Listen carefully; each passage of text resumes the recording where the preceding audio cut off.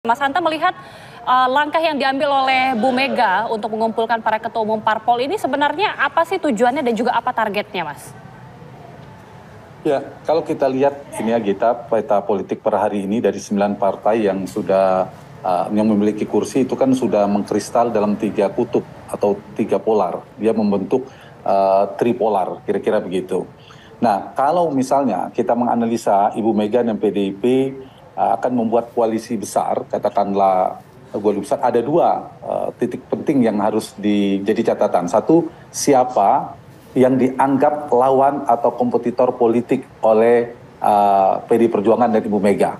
Anies Baswedan kah atau Prabowo Subianto? Kutub hmm. yang mana? Yang kedua adalah partai mana saja yang masih galau, yang masih mungkin labil dan bisa digoda untuk bergabung dari sembilan partai di parlemen itu. Nah, kalau kita perhatikan jika PDIP misal menganggap satu, menganggap Pak Prabowo sebagai lawan politik yang akan menjadi kompetitor di 2024 mendatang, maka arah yang harus pergerakan politik Pak Indrawan dan PD Perjuangan adalah bagaimana menggait atau melakukan komunikasi yang intensif dengan eh, partai-partai di koalisi perubahan itu itu yang paling mungkin. Dan kita lihat ada partai-partai di sana misalnya partai Nasdem yang paling mungkin karena pernah bersama. Meskipun hubungan dengan PDI Perjuangan belakangan dingin tapi mereka pernah bersama. Masih mungkin. Kedua Demokrat. Meskipun ada ada problem komunikasi tapi belakangan juga ada pertemuan Mas Ahy dan Mbak Puan. Baru terakhir PKS karena uh, ideolog mungkin jarak ideologis dan belum pernah bersama. Yang kedua jika Ibu Mega dan PDI Perjuangan menganggap uh, Anies Baswedan lah yang akan menjadi lawan kompetitornya, maka pergerakannya mengarah ke mendekat ke koalisi-koalisi di dalam koalisinya uh, Gus Jazilul, koalisinya Pak Prabowo. Tetapi kalau kita lihat, kalau sementara per hari ini ya, dinamika per hari ini, tendensi politik yang dibaca, Pak PD Perjuangan uh, dan Ibu Mega, sepertinya karena peta politiknya kita lihat kekuatan elektabilitas juga, itu masih Pak Prabowo menjadi lawannya Mas Ganjar. Nah karena itu yang paling mungkin ada dua tadi, seperti saya katakan di awal, satu adalah melakukan komunikasi untuk mengajak partai di dalam koalisi perubahan. Kalau mengajak Nasdem itu satu paket mungkin, apakah mungkin harus ada nama Anies Waswedan, proposalnya Anies Waswedan dipertimbangkan untuk dipasangkan. Nah ini masih panjang dinamikanya, apakah mungkin menjadi cawapres, Aniesnya berarti Anies harus meninggalkan PKS dan Demokrat dan seterusnya.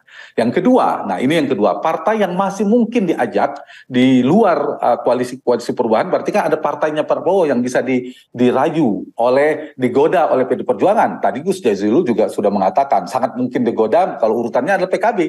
Karena PKB tadi itu ada variabel mana yang bisa menawarkan Caimin Caimin sebagai cawapres, Gus Muhaimin sebagai cawapres dan seterusnya. Dan kita tahu memang PKB uh, eh, suka atau tidak suka oleh partai lain ini memang paling strategis. Dia seksi, ibarat kendaraan mobil, kendaraannya seksi, lebih seksi dari sopirnya mungkin tetapi mungkin karena seksi kendaraannya mobilnya tapi otomatis meskipun sopirnya kurang menarik tetap menarik karena dia memegang kendali setirnya kok apa namanya sopirnya. Jadi saya kira ini penting. Kenapa PKB menjadi penting menjadi rebutan?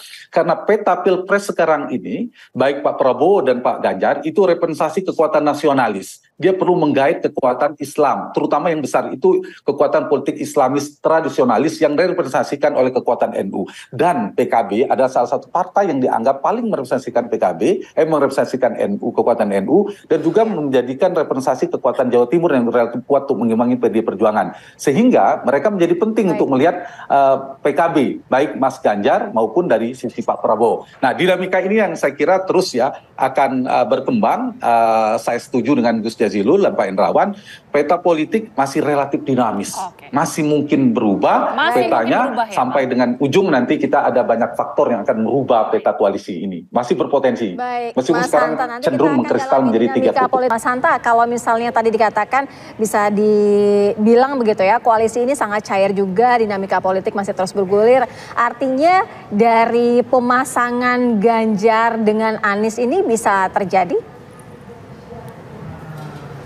Iya, ini tergantung pada empat hal ya Bung Jawab Dinamika politik ini masih cair ya, tapi ada empat parabel yang berkaitan dengan efeknya yang di, menjadi pertimbangan partai bergeser dari tiga polar atau tiga kutub tadi. Satu, uh-huh. faktor cawapres nanti. Ketika penentuan cawapres, maka inilah ya, menyebabkan uh, kutub-kutub politik ini, potensi koalisi ini sepertinya uh, akan di last minute menentukan siapa cawapres bisa jadi dari awal. Tapi kalau di awal ada potensi nanti, seperti misalnya ternyata Gus Muhaimin tidak dicawapres, ada potensi mereka melompat. Meskipun di Mas Ganjar juga ternyata tidak ditawarkan jadi eh, cawapres, bagi Gus Muhaimin kan jadi, nanti akan ada pilihan realistis. Jadi variabel pertama adalah cawapres, itu akan menentukan sikap nanti partai-partai. Yang kedua adalah dinamika elektabilitas si capres fluktuasinya seperti apa. Jadi kalau ada capres yang elektabilitasnya semakin menguat, itu semakin mantap, magnetnya semakin kuat, maka koalisi semakin mantap. Tapi kalau ternyata dalam enam bulan ke depan, satu, dua, tiga bulan ke depan, uh, dinamikanya dia mengalami pelemahan, itu partai makin ragu. Misal, saya misal, Mas Anies Baswedan misalnya elektabilitasnya melemah, itu mungkin Nasdem dan Pak Surya Paloh akan ragu misalnya, apakah bergabung saja menjadi cawapres dan seterusnya. Tapi kalau kuat, itu akan bertahan menjadi capres dan seterusnya. Jadi dinamika atau fluktuasi uh, di, uh, capres, elektabilitas capres itu menjadi variabel yang kedua. Yang ketiga adalah efek satu efek cawapres, dua apa namanya electability uh, effect. Yang ketiga adalah uh, kotel efek, efek ekor jas. Ini akan dikejar partai. Kenapa PKB mengejar harus ada Pak Muhaimin? Mengapa PAN harus ada siapa? Golkar harus ini? Karena mengejar kotel efek, efek ekor jas, memberikan dampak, mendapatkan insentif elektoral partainya kalau punya simbol wakilnya, termasuk Mas Ahaye dengan demokratnya. Ini juga variabel partai-partai nanti akan ke mana, lebih menguntungkan mana secara elektoral. Dan yang ketiga adalah uh, pergerakan ini dibaca faktor kingmaker. Ada banyak kingmaker sekarang Ibu Mega, Pak Jokowi sendiri, Pak SBY, Pak uh, Surya Paloh itu yang paling utama. Nah, terutama kalau kita membaca Jokowi efek, efek efek dari Pak Jokowi ini di potensi menjadi kingmaker, pergerakannya juga akan berpengaruh.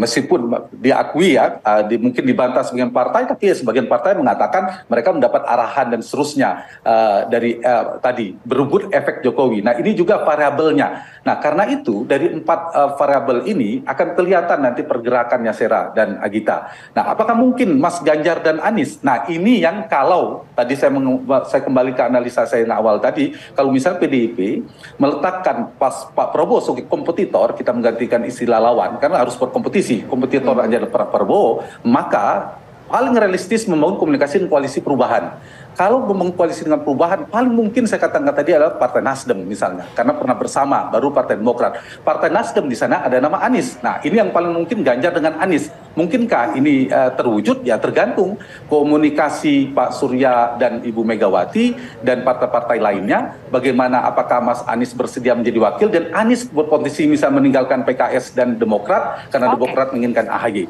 Yang kedua mungkinkah Ganjar dan Prabowo? Kita bicara kemungkinan kedua ya. Ganjar Prabowo ini memang paling kecil kemungkinannya karena Pak Prabowo dan Pak Ganjar sama-sama kuat elektabilitasnya, punya ingin jadi capres kedua-duanya. Pak Prabowo dari partai besar punya koalisi besar, Pak Pak Ganjar dari partai terbesar dan punya elektabilitas kuat, mereka kecil kemungkinannya. Atau yang terakhir, Pak Prabowo yang jadi capres, kemudian Mas Ganjar jadi wakil. Ini juga hmm. Pak Andrawan pasti keberatan PDIP. Oh hanya okay. di cawapres, nggak mungkin partai hmm. terbesar. Hmm. Kalau cawapres lebih resis Mbak Puan, mending jadi wakilnya uh, Prabowo misalnya dulu yang pernah didengungkan. Jadi ini peta dinamika yang bergantung pada empat variabel tadi. Kira-kira Oke, gitu. Langkah dan elit politik ini masih sangat cair, masih sangat dinamis. Kita juga akan nantikan tentunya bagaimana uh, pertemuan yang akan dilakukan oleh Bu Mega, PDIP juga dengan para ketua umum parpol lainnya.